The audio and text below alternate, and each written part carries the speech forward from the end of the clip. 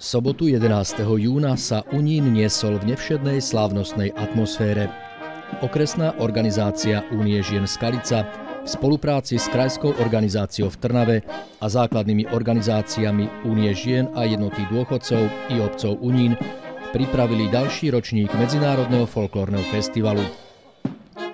Podujatie sa konalo pod záštitou Trnavského samozprávneho kraja a bolo pokračovaním niekoľkoročnej tradície tohto festivalu – ktorý sa každoročne koná v inej obci.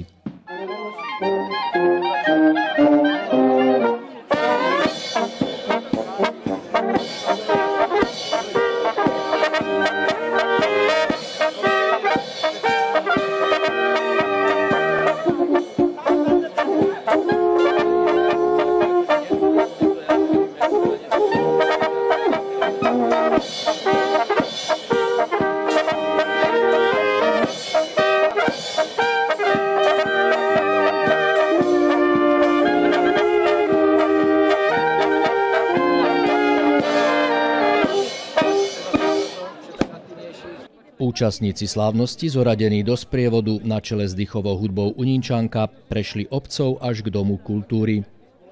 Tu ich prišli pozdraviť a privítať starosta obce Jan Palkovič a podpredseda Trnavského samozprávneho kraja Zdenko Čambal – v mene organizátorov sa prítomným prihovorili aj krajská predsednička Únie žien Slovenska Helena Cáková a predsednička okresnej organizácie Skalica Marta Kubinová. V programe festivalu sa predstavilo 10 súborov či interpretov zo záhorského a okolitého regiónu i zo susednej Moravy. Ľudovými piesňami najprv rozozneli sálu Domu kultúry, domáce mládežnické speváčky, a ľudová hudba základnej umeleckej školy z Holíča.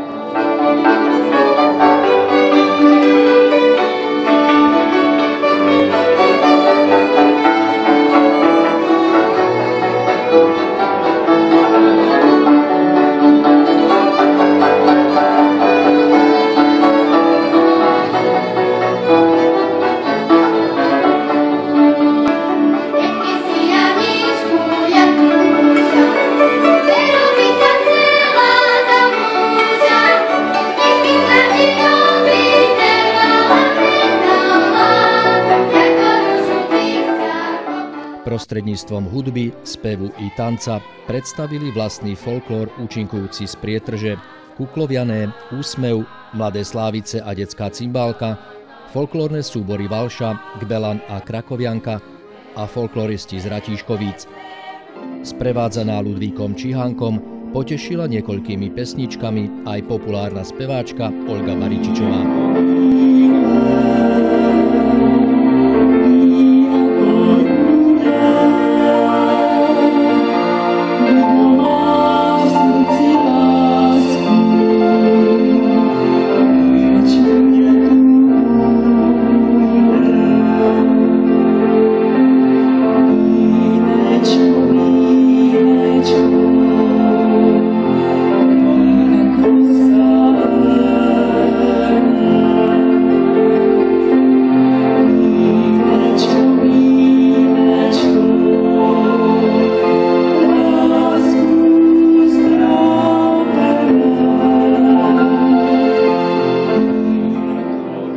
Milovníci ľudovej hudby, spevu a tanca sa už teraz môžu tešiť na budúcoročné pokračovanie tohto festivalu.